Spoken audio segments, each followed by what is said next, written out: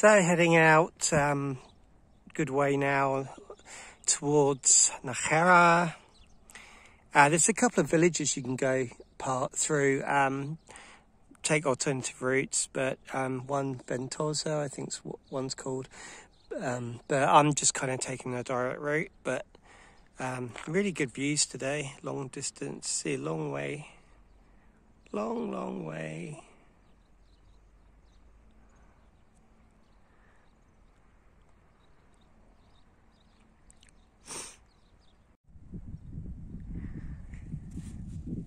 so a little pilgrim rest area um, just outside Ventosa and yeah just been following the uh, Altavia and I don't know about seven more kilometers to Najera and yeah the sun's coming out now so it's starting to feel quite warm. It's quite cool earlier but um, yeah it's forecast 29 today so it should be quite warm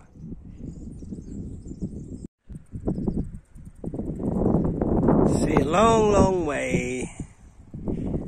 Kind of forget how great the views are on the on the French way. Uh, really does surpass anything on the, anywhere in Portugal. The two Portuguese ways I've done, and the um, Seville route, Via del Plata. Um, you know, all very nice in their own way, but yeah, the French way definitely has some jaw dropping views. I think Najera is kind of straight down there beyond that kind of um, yeah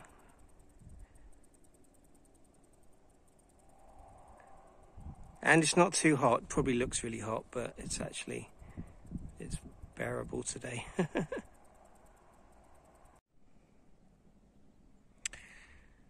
And there goes the sun. My friend and my foe.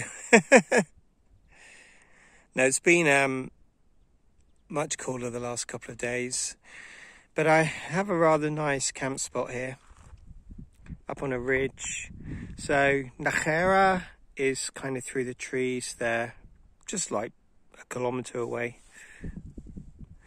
Um, the Camino's down there, the white track, right um, down by the trees, and it goes over there, and then um, there's a village over there called Al Faza. I think it's the next place after Najera.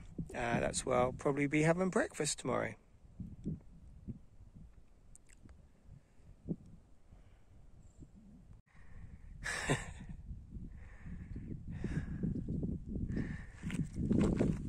They're definitely uh, one of the nicest pairs of shoes I've seen hanging up.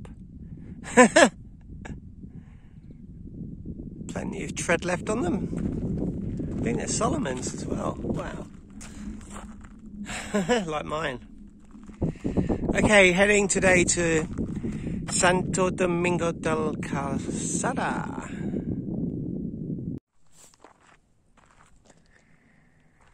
So on my way to um, Santo Domingo del Calzada, just had a bit of a climb up there and um, yeah, I've not really seen many pilgrims today because I left a bit later. Uh, there's a couple of guys behind me. I did see a few people way out ahead, so maybe I'll get uh, near them at some point. But um, yeah, pretty hot today, but not nowhere like it was a few days ago. anyway, hopefully you find somewhere for lunch soon. So just leaving uh, Cirueña. Uh, that guy just waved at me. Yeah, uh, there's hardly anything there. There's a golf course and they do have a bar and a restaurant, to be fair.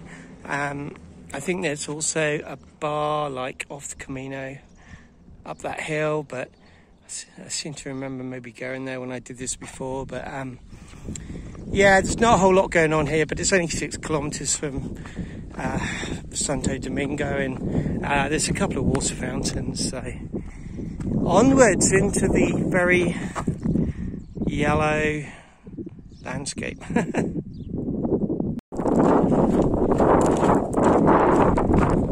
One of the classic views of the French Camino looking towards Santo Domingo and a few peregrinos ahead. Slowly catching them all now, the ones that left earlier.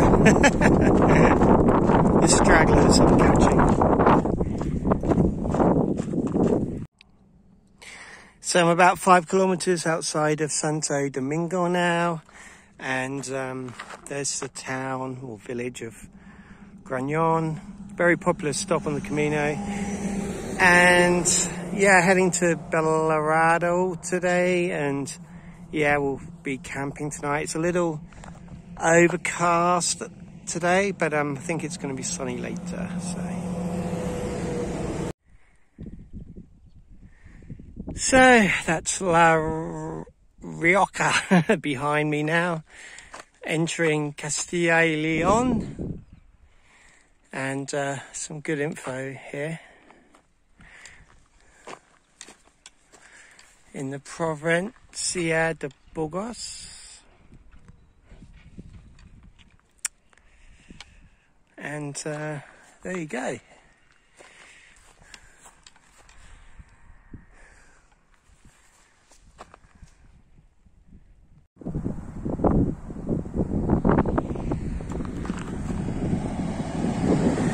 Well, that was the end of a very long, straight piece of um, Camino next to the, the busy road here. So, yeah, just about a couple of kilometers outside uh. And uh, looking forward to getting there and, yeah, checking it out.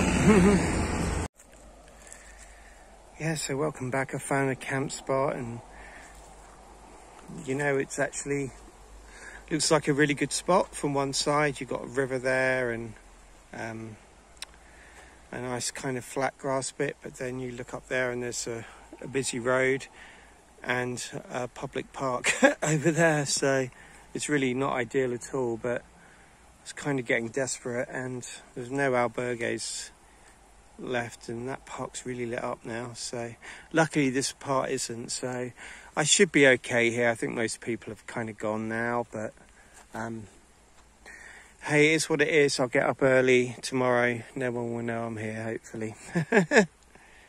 All part of the fun. So 46 kilometers to uh, Burgos and uh, yeah, basically. Nice mural written on the, uh, drawn on the side of this building though. really cool. Okay, so uh, looks like I've got a bit of a hill to climb in a moment. So just leaving Atapuerca now and uh, made very famous for the human remains and the archaeological site. Um, there's an awesome little shop there, little tienda, and they just they sold things like ready boiled eggs and things like that. Just really cool. So I'm heading now uh, find somewhere to stay, camp, kind of somewhere up there, and then Burgos is basically over that hill. So let's see what we can find. Hopefully not near that rooster. so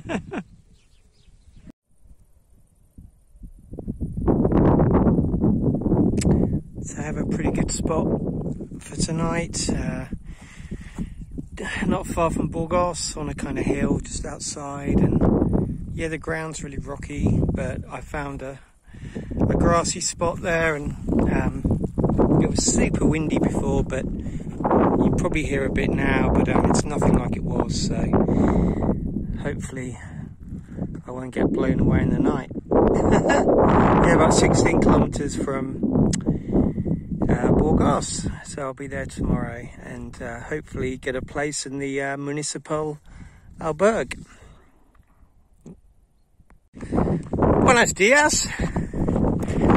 So there ahead is Burgos and I'm kind of in a bit of a hurry to get there today because there's only one albergue, the main one, and I think they're running half capacity.